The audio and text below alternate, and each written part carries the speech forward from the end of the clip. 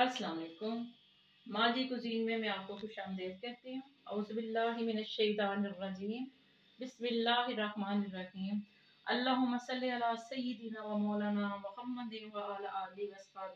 वसल्लम। आज मैं आपको माजी कुजीन में इमली की झटपट बनने वाली चटनी बनाऊँगी। ये बहुत इजी रेसिपी है। इसमें आपको कोई किसी किस्म की परेशानी नहीं होगी ना इसमें डेट जाएँगी, ना इसमें सूंढ जाएगी। ये आपको बड़ी इजी रेसिपी मिलेगी। ये मैंने आपको बता दूँ, इसमें आप में क्या क्या चाहिए।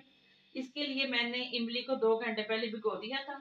ये इसका मैंने पल्प तैयार कर लिया है। मुझे वन कप शुगर चाहिए। और साथ में चुटकी नमक मैं लूँगी और थोड़ी सी मैं ये मिर्च लूँगी हंसपे जायका। अब मैंने ये करना है कि मैंने आधा कप पानी में ये चीनी डाल के तो मैंने ये चीनी का शुगर सिरप तैयार कर लेना। चीनी मैंने इसमें डाल दी है, इसका सिरप तैयार हो जाएगा। साथ ही में मैं इसमें इमली का पप डाल दूँगी स्टील का बर्तन लीजिएगा या फिर आपने लेना है मिट्टी का बर्तन, और इसको आपने हिलाते जाना है। इस पता है क्यों? क्योंकि आजकल ना ये, आज इसमें किरक होती है, रेत होती है नीचे तो हिला हिला के डालिएगा। साथ ही आपने ये हाफ़ टी स्पून सुरख मिर्च आपने ये डाल देनी है, और आपने तकरीबन आधा टी स्पून नमक डाल देना। बस, और इसमें कुछ नहीं जाएगा। अब आपने इसको पकाना है तो ये देखिए, इंशाल्लाह ताला ये बहुत जल्दी बन जाएगी। क्योंकि इसका पल्प गाढ़ा था, शीरा जो है ना, वो भी तैयार हो जाएगा। तो जब ये चीनी का दाना गायब हो जाए और ये थोड़ी सी थिक हो जाए तो आपकी इमली की चटनी जो है ना, ये तैयार हो जाएगी। ये आप चाट के ऊपर डाल सकते हैं, दही भले बनाए उसके ऊपर डाल सकते हैं। ये आप पराठों के साथ खा सकते हैं।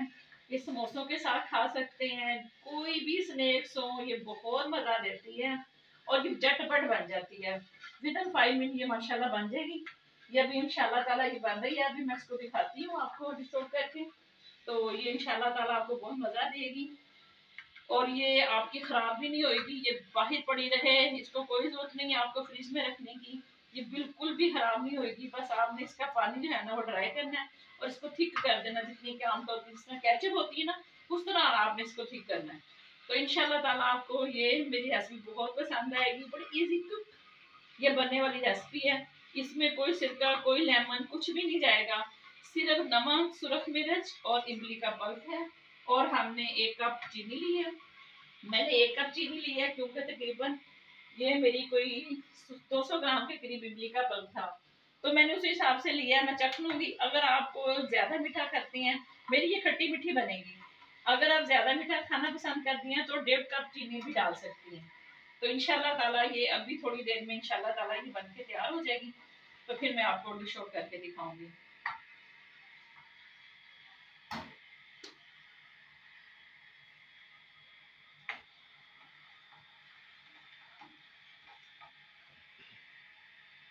बस आपने इसको मुसलसल हलाते जाना है।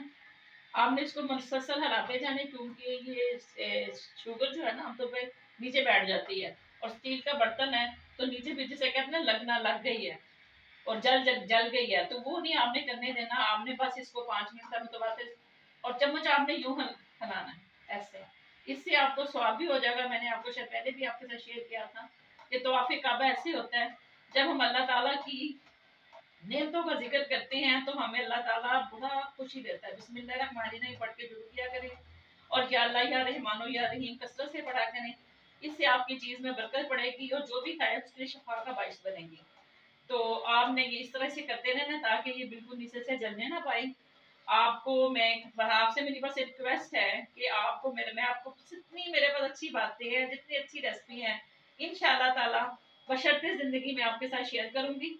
आपसे मेरी रिक्वेस्ट है मेरे चैनल को सब्सक्राइब करें आप इसको लाइक करें कमेंट्स दें और आप इसको शेयर करें। और बेल आइकॉन को आप प्रेस करें तो आपकी अच्छी अच्छी हमारी सारी रस्में बगैर कुछ खर्च किए पैसे के आपको मिल सकें। तो इन ताला हम आपको मजीद अच्छी अच्छी रस्में डेली बेस पे देने वाले हैं। तो बस ज़िंदगी में आसानियाँ बखेरें आसानियाँ करें। जब भी आप चटनी बनाएँ तो अपने अजीज़ों को खिलाएँ मेहमानों को खिलाएँ उनको इसकी रेसिपी बताएँ। इनशाला आपको बहुत मज़ा आएगा। तो ये तकरीबन हमारी बनने वाली है। अल्हम्दुलिल्लाह, ये देखते हैं, माशाल्लाह, पाँच मिनट तक हमने पकाया।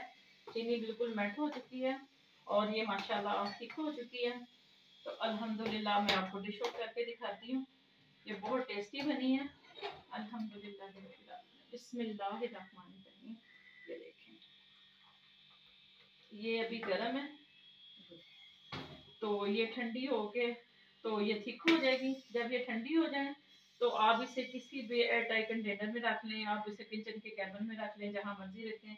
अल्हम्दुलिल्लाह, ये बिल्कुल ठीक रहेगी। तो इंशाल्लाह ताला अगली रेसिपी के लिए फिर मिलेंगे। अल्लाह हाफिज़।